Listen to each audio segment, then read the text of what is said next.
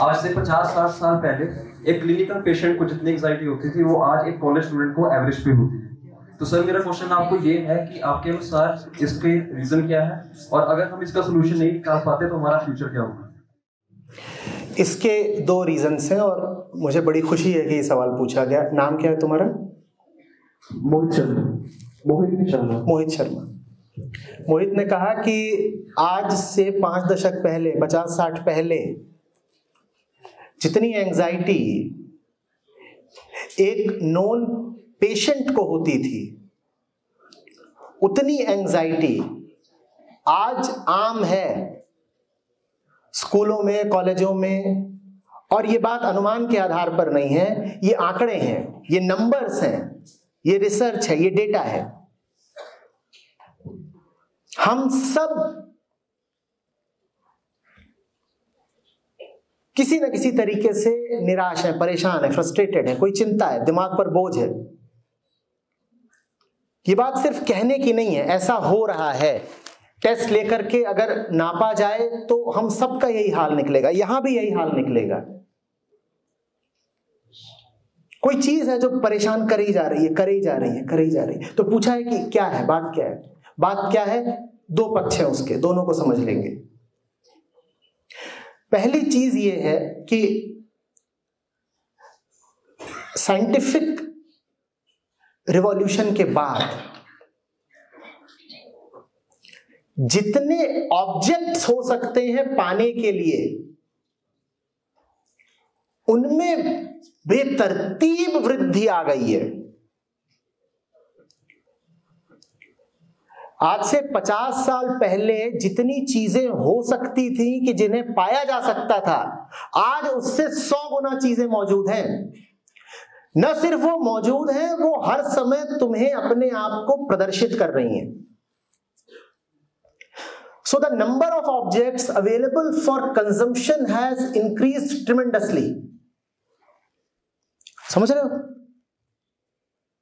एक आदमी जिन चीज़ों को हासिल कर सकता था, वो पचास साल की अपेक्षा, पचास साल पहले की अपेक्षा आज सौ गुनी है। और न सिर्फ़ वो सौ गुनी है, वो तुम्हारे पास हर तरीके के मीडिया से पहुँच रही हैं, प्रदर्शित हो रही हैं, विज्ञापित एडवर्टाइज हो रही हैं। इसका क्या मतलब है? अब एक इंसान है, वो इस कुर्सी पर बैठा हुआ है। उसको बार बार दिख रहा है कि जगत में, दुनिया में हासिल करने के लिए, कंज्यूम करने के लिए, भोगने के लिए इतनी चीज़ें हैं। और वो चीज़ें बार बार बार बार बार बार उसके दिमाग पर लाई जा रही हैं। एक तरह से उसके दिमाग पर हमला किया जा रहा है। और ये जो इतनी चीज़ें अब हो गई हैं दुनिया में, जो साइंस और टेक्नोलॉजी का आउटपुट है, जो मार्केट का आउटपुट है, क्या तुम उन सबको पा सकते हो और कंज्यूम कर सकते हो? बोलो। नहीं कर सकते ना। चीज़ें बढ़ती जाएँगी। पर उनके भोग की, उनके कंजम्पशन की तुम्हारी क्षमता तो नहीं बढ़ रही या बढ़ रही है? ना तुम्हारे पास उतना ज़्यादा पैसा है, हर किसी के पास तो नहीं हो सकता। और न तुम्हारे पास उतना समय है तो बढ़ क्या रहा है फिर? तुम्हारा फ्रस्ट्रेशन बढ़ रहा है, तुम्हारी निराशा बढ़ रही है कि इतनी चीज़ें हैं और मुझे तो मिल ही नहीं रही।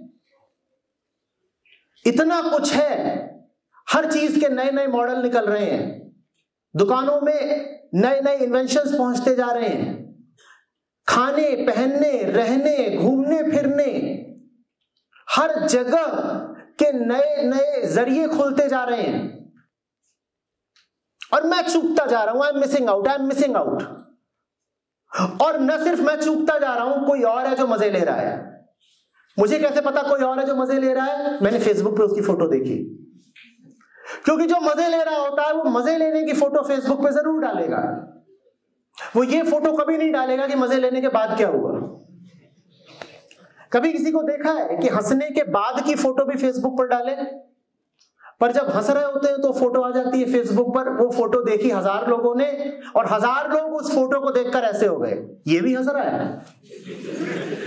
मैं ही रह गया बस। मैं ही पीछे रह गया, पूरी दुनिया मज़े कर रही है। किसी ने नई गाड़ी खरीदी, उसने फेसबुक पर डाल दिया। और तुम देख रहे हो अपनी पुरानी ऑल्टो को। और अब तुम्हारा मन कर रहा है, आग लगा दू इसमें अभी। अब भले वो जो गाड़ी की फ़ोटो डली हो, फ़ोटो ही नकली हो कितनी दफे तो मैंने देखा है, जवान लोग होते हैं, जहाँ देखते हैं कि कोई इंपोर्टेड गाड़ी इधर उधर आते हैं, जल्दी इधर उधर देखा सेल्फी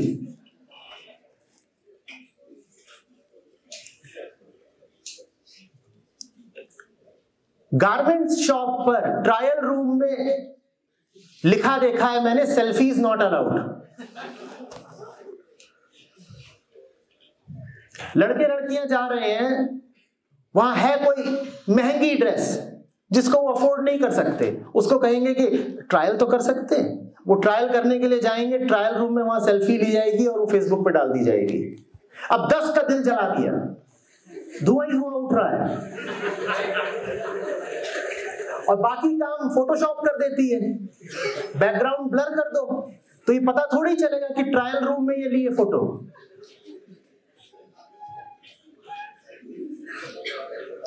तो ये जो ऑब्जेक्ट्स का प्रोलिफरेशन है, ये जो चीज़ों का फैलाव है, इसने हमको डिप्रेशन में डाल दिया है, क्योंकि हमारी कामनाएँ, हमारी अधूरी इच्छाएँ हमारे सामने और बेबस होकर के, और निराश होकर के प्रकट हो जाती हैं। मुझे भी चाहिए, मुझे मिल नहीं रहा।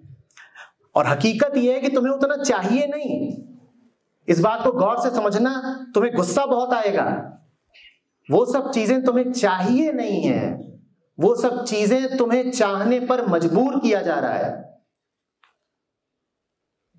कुछ बैठे हैं शातिर चालाक लोग जो तुम्हें उन चीज़ों को चाहने पर भी मजबूर कर रहे हैं, जिन चीज़ों की कोई अहमियत नहीं है, जिन चीज़ों को तुम कभी न चाहते। पर तुम्हें बड़ी होशियारी से, चालाकी से वो मजबूर कर रहे हैं कि तुम उन चीज़ों को चाहो और खरीदो। और उनकी जेब भरती रहे। और अधिकांशता हम थोड़े कम समझदार लोग होते हैं, ये भी कह सकते हो, भोले लोग होते हैं। हमें उन शातिर लोगों की चालें समझ में नहीं आती। वो चीज़ें सिर्फ़ बनाते नहीं है, वो उन चीज़ों की मार्केट भी बनाते हैं। बात को समझना। चीज़ बनाना काफ़ी नहीं होता, चीज़ की मार्केट भी बनानी पड़ती है। मार्केट समझ रहे हो, उसके लिए एक डिमांड तैयार करनी पड़ती है। आप एक फैक्ट्री में कोई चीज़ बनाए, इतना काफ़ी नहीं है। जब आप कोई चीज़ बना रहे हो तो आपको साथ साथ उस चीज़ की डिमांड भी बनानी पड़ेगी ना, तभी तो उसे खरीदा जाएगा और तभी तो आपको पैसे मिलेंगे। और वो डिमांड किसके मन में तैयार की जाती है? तुम्हारे। और हम शिकार हो जाते हैं। हर चीज़ की डिमांड हमारे मन में तैयार की जा रही है, हर चीज़ हम पा नहीं सकते। तो हम बहुत बहुत निराश हो जाते हैं। वही निराशा फिर एंजाइटी और डिप्रेशन के तौर पे सामने आती है। मुझे ये भी चाहिए, वो भी चाहिए, मुझे भी ऐसा पार्टनर चाहिए, मुझे भी ऐसा घर चाहिए। अरे, उसको ये मिल गया, मुझे नहीं मिला। अरे, उसकी शादी हुई है, इतनी बड़ी शादी हुई है।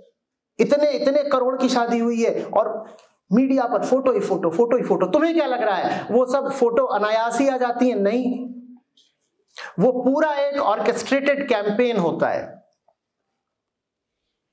क्योंकि पूरी वेडिंग इंडस्ट्री काम कर रही है। हमें लगता है हमें किसी की शादी दिखाई जा रही है।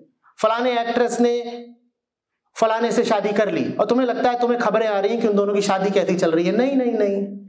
उन खबरों के पीछे पूरी ज्वेलरी इंडस्ट्री है। उन खबरों के पीछे पूरी इवेंट मैनेजमेंट इंडस्ट्री है, वो तुम्हें ये सब दिखा रहे हैं, ताकि तुम भी उस तरह की वेडिंग करो और किसी की जेब भरो। और ये बात हमें समझ में नहीं आती। और जब हम वैसी वेडिंग नहीं कर पाते, और जब हम वैसी वेडिंग नहीं कर पाते तो हम अपनी नज़रों में गिर जाते हैं। कितने घरों में कितनी लड़ाइयाँ होती हैं, क्योंकि शादी जिस तरह से करनी थी, वो अरमान पूरे नहीं हो पाए। और शादी कैसे करनी थी? शादी वैसे करनी थी जैसा वो सब अभी हुआ है। मुझे भी वैसे ही करना है। वैसी ड्रेस पहननी है। उसी तरह का शोशा होना चाहिए। उसी तरह के चार पाँच इवेंट होने चाहिए। चार पाँच इवेंट होना चाहिए, ये तुम्हें सिखाया किसने? उसने। पर ये बात हम गौर से देख ही नहीं पाते कि हमने किसको अपना गुरु बना लिया। अब गुरु शब्द आ गया है तो मैं दूसरे कारण पे आता हूँ। हमने कहा डिप्रेशन का पहला कारण है फोर्स्ड कंज्यूमरिज्म हमें मजबूर किया जा रहा है कंज्यूम करने के लिए, ये डिप्रेशन का पहला कारण है। और डिप्रेशन का दूसरा कारण है डिक्लाइन इन विजडम किसी ने कहा अभी कि we are in the post religion age तो सच्चाई की कुछ कीमत है, ईमानदारी की कुछ कीमत है, प्यार की कुछ कीमत है। इन बातों को अब मज़ाक समझा जाने लगा है। और यही वो बातें हैं जो दिमाग को सेहत और संतुलन देती हैं। पर हमें बता दिया गया है कि नहीं साहब, अब तो कीमत सिर्फ़ एक चीज़ की है सक्सेस की। कुछ भी करके पैसा कमाओ। नतीजा उसका सामने आ रहा है। तमाम तरह के addiction depression anxiety violent behaviour and a total destruction of the ecosystem of this planet तुम सब तो प्रोफेशनल कोर्सेज के पढ़ने वाले छात्रों अच्छे से जानते होगे कि धरती का हमने क्या हाल कर दिया है। उसका सीधा ताल्लुक इन्हीं दोनों चीज़ों से है। पहला इंक्रीज इन कंज्यूमरिज्म दूसरा डिक्लाइन इन विजडम हमारे स्कूलों में सब कुछ पढ़ा दिया जा रहा है। बेसिक विजडम लिटरेचर नहीं पढ़ाया जा रहा। तो लड़का लड़की, ये जब जवान हो रहे हैं तो इन्हें इधर उधर की तो बहुत सारी बातें पता है। ज़िंदगी कैसे जीनी है, ये बिल्कुल नहीं पता है।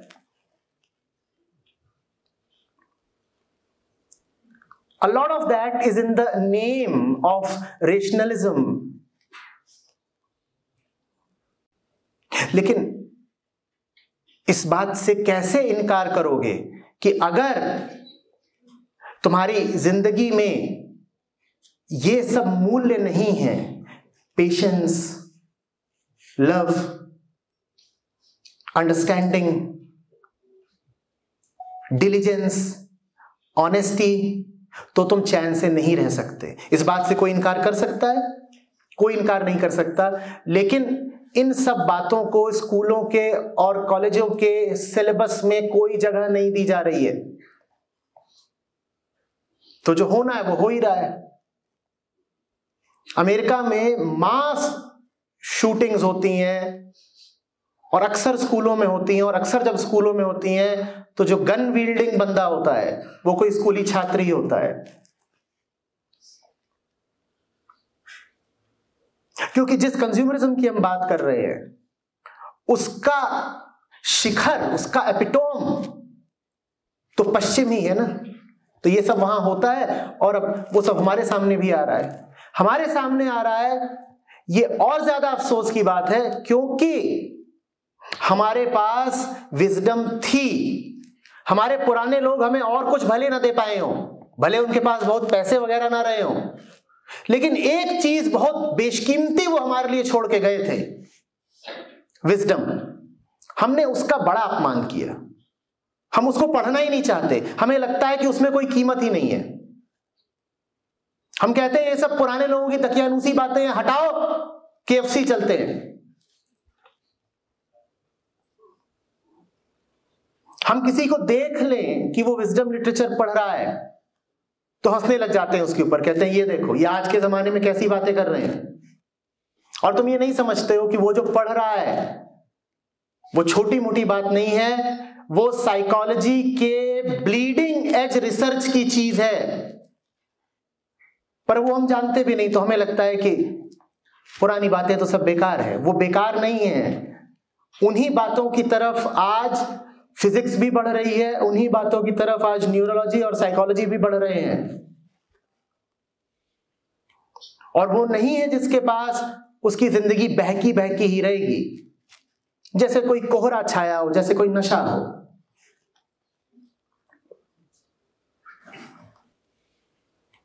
जो दुनिया के टॉप मोस्ट अचीवर्स भी हैं, अगर तुम उनके वृतांत भी पढ़ोगे, उनकी बायोग्राफीज या ऑटोबायोग्राफीज भी पढ़ोगे तो तुम पाओगे कि उनमें से सौ में से नब्बे लोग ऐसे हैं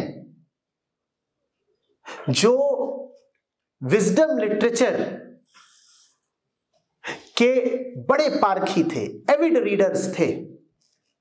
उनमें से बहुत तो ऐसे थे जो वेस्ट से इंडिया आए, क्योंकि वो अपने मन को सुलझाना चाहते थे इससे पहले कि वो कोई बिज़नेस या एंटरप्रेन्योरशिप शुरू करें। वेस्ट इस बात को अप्रिशिएट करता है और बड़े खेद की बात है कि हिंदुस्तानी नहीं कर रहे। हिंदुस्तानी नहीं कर रहे तो फिर वही हो रहा है जिसकी तुमने बात करी। हर तरह के डिसऑर्डर्स ऑब्सेशन एंजाइटी डिप्रेशन यहाँ तक कि जिसको तुम पेटेंटली साइकेट्रिक डिसऑर्डर भी बोलते हो बाइपोलर वगैरह, उनका भी बहुत संबंध उन्हीं दो चीज़ों से है जिनकी मैंने बात करी। So be very cautious of these two things मैंने कहा, गौर से देखो कि क्या तुमको आकर्षित कर रहा है किस चीज़ को कंज्यूम करने के लिए तुमको चुपचाप धीरे धीरे चालाकी से मजबूर किया जा रहा है? किसी को चालाकी मत करने दो अपने साथ। तुम्हारी ज़िंदगी कीमती है, तुम्हारी ज़िंदगी इसलिए नहीं है कि किसी ने कोई प्रोडक्ट बनाया है और तुम उसे कंज्यूम करते चलो और कंज्यूम कर करके उसको पैसा खिलाते चलो। इसलिए कि हमारी ज़िंदगी इस बात पर बहुत सावधान रहो, बहुत बहुत केयरफुल कि मुझमें क्या इच्छा जागृत कर रहा है और कौन। कहीं मैं किसी के लालच का शिकार तो नहीं हो रहा? और दूसरी चीज़ जिसकी मैं सलाह दूँगा, वो ये है कि पढ़ो और अच्छा पढ़ो। जब मैंने कॉरपोरेट के आगे की अपनी यात्रा शुरू करी थी तो कैंपस से ही करी थी। आज से पंद्रह साल पहले। और शुरुआती चीज़ ही जो मेरी फाउंडेशन करा करती थी वो ये थी कि कैंपसेस में जाके पहले वहाँ एक विजडम लाइब्रेरी सेट करो। स्टूडेंट्स को एक्सपोजर तो मिले कि पढ़ने के लिए ये भी मौजूद है। दुनिया का ऊँचा से ऊँचा साहित्य हर देश से, हर जगह से हर धारा से लाके उनके सामने रखो तो। और फिर उसी लिटरेचर पर आधारित बेसिक सिंपल कोर्सेस जो स्टूडेंट्स पढ़ें, समझें। And it obviously help a lot and that is what you need to do whether or not there is any such course for you course अगर नहीं मिल रहा है तो खुद करो। और आज ज़्यादा आसान है क्योंकि इंटरनेट आज ज़्यादा सुलभ है, पंद्रह साल पहले की अपेक्षा। बहुत कुछ है जो तुम ऑनलाइन ही पढ़ सकते हो किंडल पर पढ़ लो, या किताब मंगा लो ऑर्डर कर लो। पर पढ़ो, समझो। पढ़ने का मतलब समझते हो क्या है? पढ़ने का मतलब यह है कि कोई बहुत ऊँचा आदमी जो तुमसे फेस टू फेस नहीं मिल सकता, वो क्या कह गया है ये तुमको पता चल गया। तुम उससे मिल नहीं सकते। हो सकता है वो अब मर चुका हो लेकिन फिर भी उसकी बात तुम तक पहुँच गई। ये अपने आप में कितनी बड़ी और खूबसूरत बात है, है कि नहीं? बोलो। तो पढ़ो और सही पढ़ो।